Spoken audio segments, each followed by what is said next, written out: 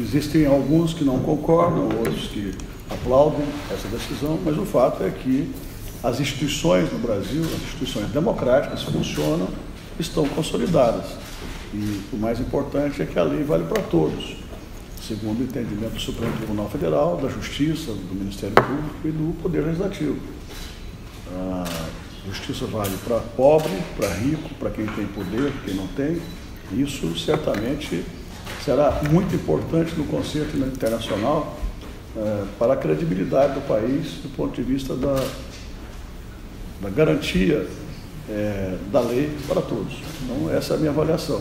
Acho que a sinalização é essa.